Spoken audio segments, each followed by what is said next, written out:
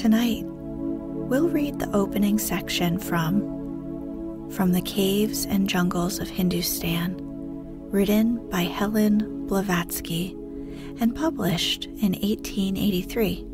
Madame Blavatsky was a Russian occultist and philosopher who traveled around the world, including India, before moving to New York City.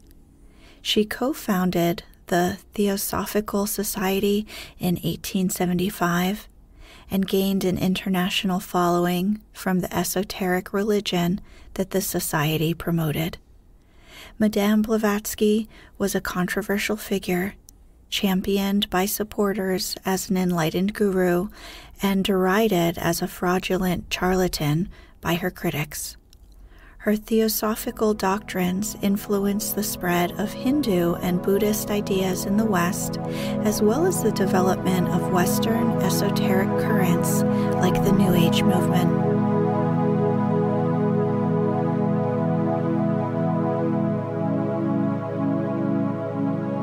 Let's get cozy.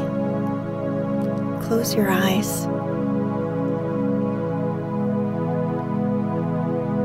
Relax your body into the softness of your bed. Now, take a few deep breaths.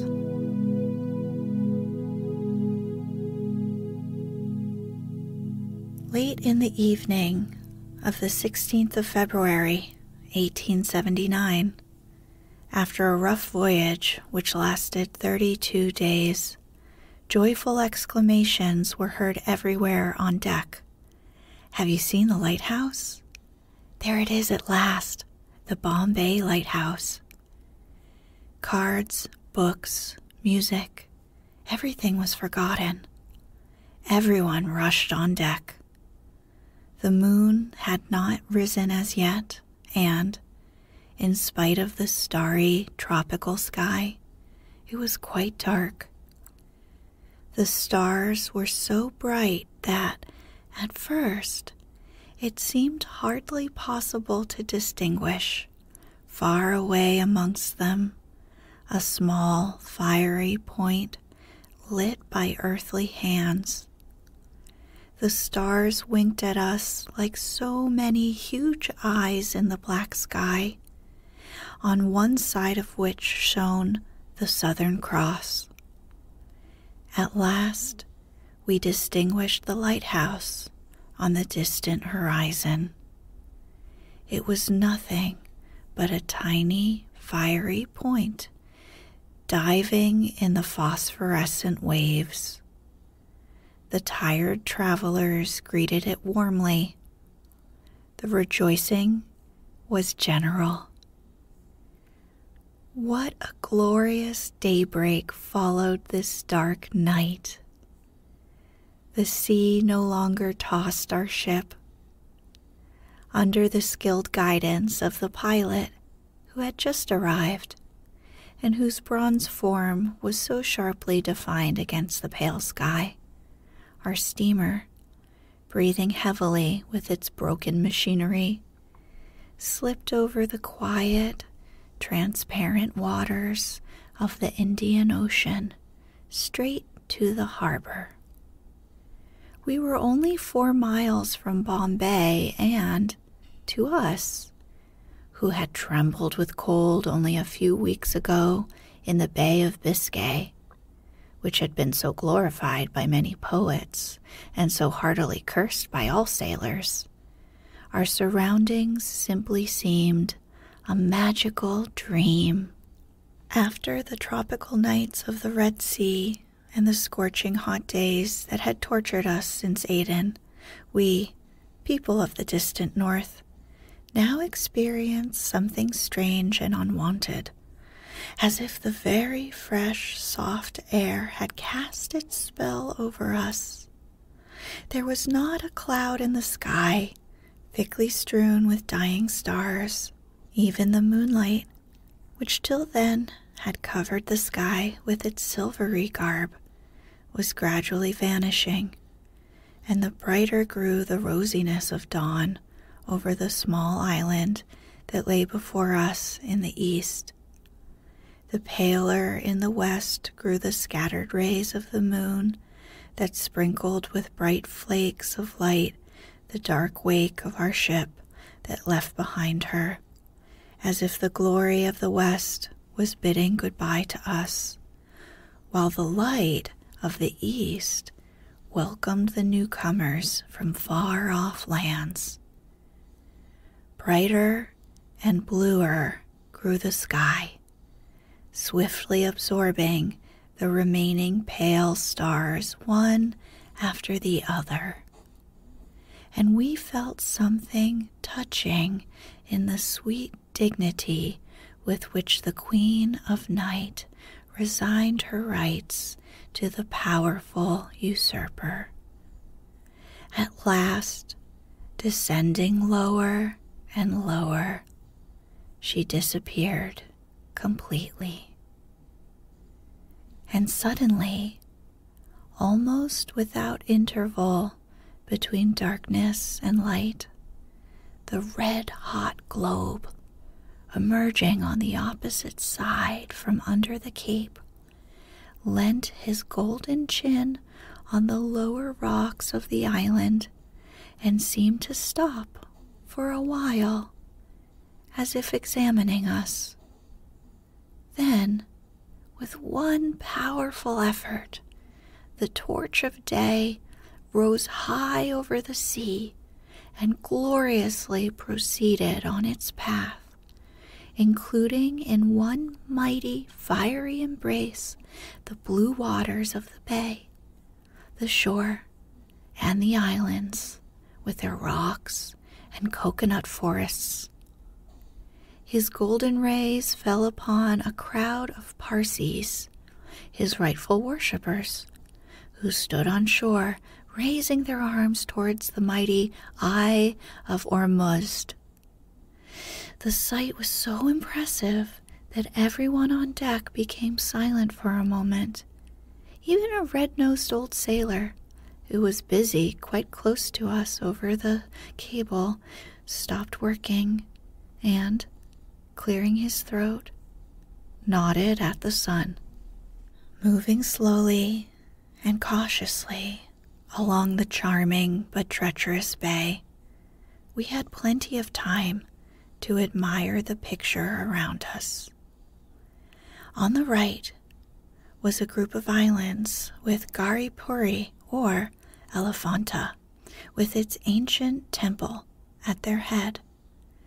Gharipuri translates to the town of caves, according to the Orientalists, and the town of purification, according to the native Sanskrit scholars. This temple, cut out by an unknown hand in the very heart of a rock resembling porphyry, is a true apple of discord among the archaeologists of whom none can as yet fix, even approximately, its antiquity. Elephanta raises high its rocky brow, all overgrown with secular cactus, and right under it, at the foot of the rock, are hollowed out the chief temple and the two lateral ones. Like the serpent of our Russian fairy tales, it seems to be opening its fierce black mouth to swallow the daring mortal who comes to take possession of the secret mystery of Titan. Its two remaining teeth, dark with time, are formed by two huge pillars at the entrance, sustaining the palate of the monster. How many generations of Hindus how many races have knelt in the dust before the Trimurti, your threefold deity, O Elephanta? How many centuries were spent by weak man in digging out in your stoned bosom this town of temples and carving your gigantic idols? Who can say? Many years have elapsed since I saw you last, ancient, mysterious temple, and still the same restless thoughts the same recurrent questions vex me now as they did then, and still remain unanswered. In a few days we shall see each other again. Once more I shall gaze upon your stern image, upon your three huge granite faces, and shall feel as hopeless as ever of piercing the mystery of your being. This secret fell into safe hands three centuries before ours. It is not in vain that the old Portuguese historian Don Diego de Couto boasts that the big square stone fastened over the arch of the pagoda as a distinct inscription, having been torn out and sent as a present to the King Don Juan III disappeared mysteriously in the course of time. Close to this big pagoda there stood another, and farther on, even, a third one, the most wonderful of all in beauty, incredible size, and richness of material. Worst of all, they left no inscriptions that might have given a clue as to what happened thanks to the fanaticism of Portuguese soldiers. The chronology of the Indian cave temples must remain forever an enigma to the archaeological world, beginning with the Brahmins, who say Elephanta is 374,000 years old, and ending with Fergusson, who tries to prove that it was carved only in the 12th century of our era. Whenever one turns one's eyes to history, there is nothing to be found but hypotheses and darkness.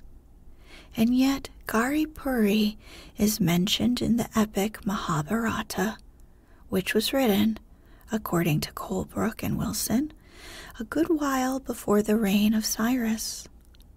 In another ancient legend, it is said that the temple of Trimurti was built on Elephanta by the sons of Pandu, who took part in the war between the dynasties of the sun and the moon, and, belonging to the latter, were expelled at the end of the war. The Rajputs, who are the descendants of the first, still sing of this victory. But even if their songs were popular, nothing is positive. Centuries have passed and will pass, and the ancient secret will die in the rocky bosom of the cave, still unrecorded. On the left side of the bay, exactly opposite Elephanta, and as if in contrast with all its antiquity and greatness, spreads the Malabar Hill, the residence of the modern Europeans and rich natives. Their brightly painted bungalows are bathed in the greenery of banyan, Indian fig, and various other trees, and the tall and straight trunks of coconut palms cover, with the fringe of their leaves, the whole ridge of the hilly headland. There, on the southwestern end of the rock, you see the almost transparent, lace like government house surrounded on three sides by the ocean. This is the coolest and the most comfortable part of Bombay, fanned by three different sea breezes. The island of Bombay, designated by the natives Mumbai, received its name from the goddess Mumba in Marathi Mahima, or Amba, Mama, and Amma, according to the dialect, a word meaning, literally, the Great Mother. Hardly 100 years ago, on the site of the modern esplanade, there stood a temple consecrated to Mumba Devi. With great difficulty and expense, they carried it nearer to the shore, close to the fort, and erected it in front of Baleshvara, the Lord of the Innocent, one of the names of the god Shiva. Bombay is part of a considerable group of islands, the most remarkable of which are Salsetta, joined to Bombay by a mole, Elephanta, so named by the Portuguese because of a huge rock cut in the shape of an elephant, 35 feet long, and Trombay, whose lovely rock rises 900 feet above the surface of the sea. Bombay looks, on the maps, like an enormous crayfish, and is at the head of the rest of the islands, spreading far out into the sea its two claws. Bombay Island stands like a sleepless guardian watching over his younger brothers. Between it and the continent, there is a narrow arm of a river, which gets gradually broader and then again narrower, deeply indenting the sides of both shores, and so forming a haven that has no equal in the world. It was not without reason that the Portuguese, expelled in the course of time by the English, used to call it Buena Bahia. In a fit of tourist exultation, some travelers have compared it to the Bay of Naples. The whole resemblance between the former consists in the fact that there is water in both. In Bombay, as well as in its harbor, everything is original and does not in the least remind one of southern Europe. Look at those coasting vessels and native boats. Both are built in the likeness of the sea bird Sat, a kind of kingfisher. When in motion, these boats are the personification of grace with their long prows and rounded poops. They look as if they are gliding backwards, and one might mistake for wings the strangely shaped, long lateen sails, their narrow angles fastened upwards to a yard. Filling these two wings with the wind and careening so as almost to touch the surface of the water. These boats will fly along with astonishing swiftness. Unlike our European boats, they do not cut the waves, but glide over them like a seagull. The surrounding of the bay transported us to some fairyland of the Arabian Nights. The ridge of the western Ghats, cut through here and there by some separate hills almost as high as themselves, stretched all along the eastern shore. From the base to their fantastic rocky tops, they are all overgrown with impenetrable forests and jungles inhabited by wild animals. Every rock has been enriched by the popular imagination with an independent legend. All over the slope of the mountain are scattered the pagodas, mosques, and temples of numberless sects.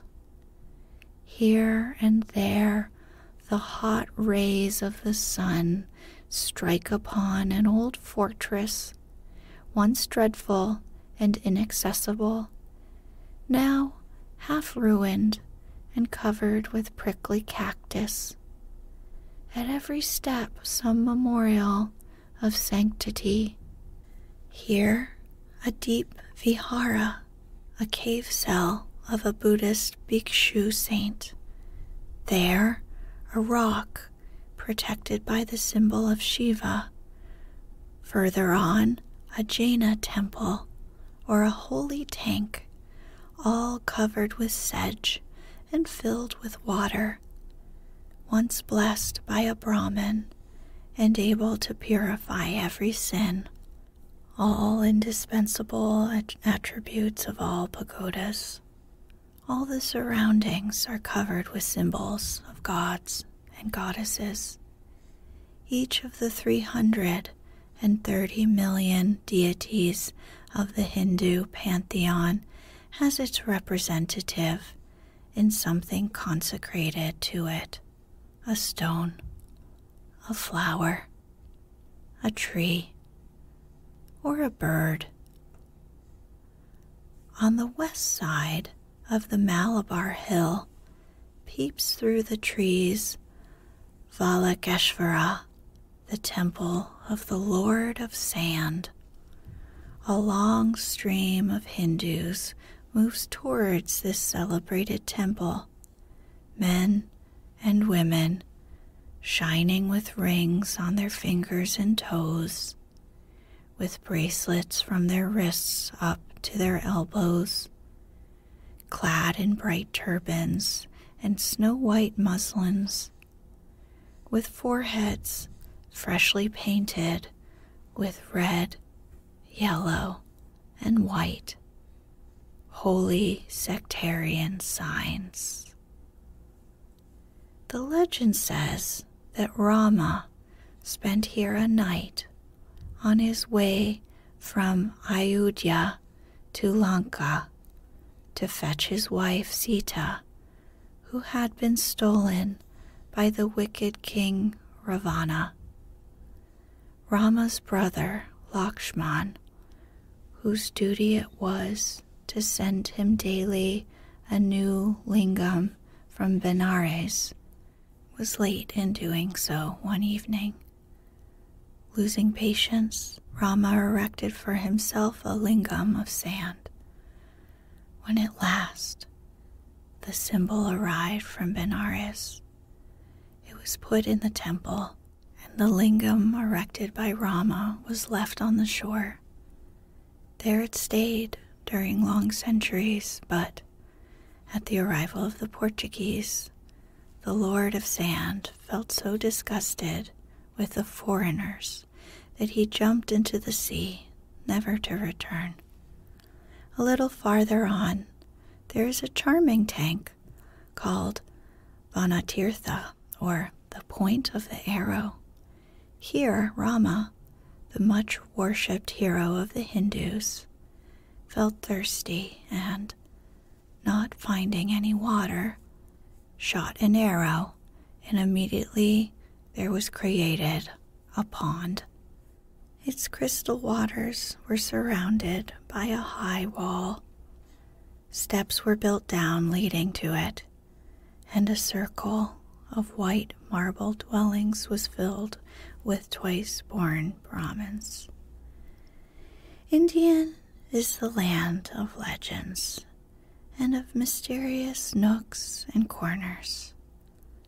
There is not a ruin, not a monument, not a thicket that has no story attached to it.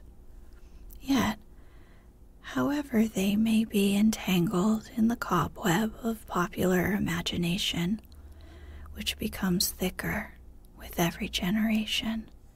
It's difficult to point out a single one that is not founded on fact. With patience and, still more, with the help of the learned Brahmins, you can always get at the truth when once you have secured their trust and friendship. The same road leads to the temple of the Parsi fire worshippers. At its altar burns an unquenchable fire, which daily consumes hundred weights of sandalwood and aromatic herbs, lit 300 years ago, the sacred fire has never been extinguished, notwithstanding many disorders, sectarian discords, and even wars. The Parsis are very proud of this temple of Zarathustra, as they call Zoroaster. Compared with it, the Hindu pagodas look like brightly painted Easter eggs. Generally, they are consecrated to Hanuman, the monkey god and the faithful ally of Rama, or to the elephant headed Ganesha, the god of the occult wisdom, or to one of the Devis. You meet with these temples in every street. Before each, there is a row of Ficus religiosa centuries old, which no temple can dispense with, because these trees are the abode of the elementals and the sinful souls. All this is entangled, mixed, and scattered, appearing to one's eyes like a picture in a dream.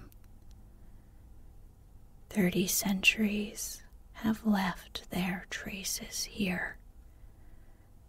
The innate laziness and the strong conservative tendencies of the Hindus, even before the European invasion, preserved all kinds of monuments from the ruinous vengeance of the fanatics, whether those memorials were Buddhist or belonged to some other unpopular sect. The Hindus are not naturally given to senseless vandalism, and a phrenologist would vainly look for a bump of destructiveness on their skulls.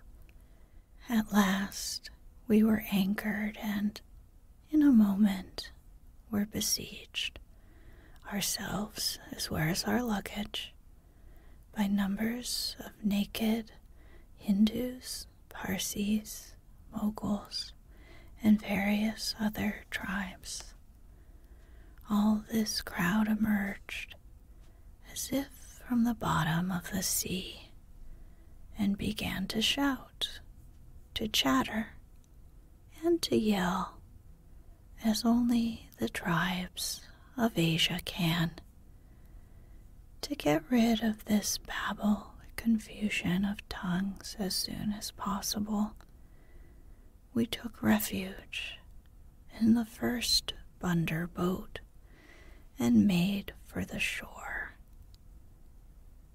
Once settled in the bungalow awaiting us, the first thing we were struck with in Bombay was the millions of crows and vultures. The first are, so to speak, the county council of the town, whose duty is to clean the streets. And to kill one of them is not only forbidden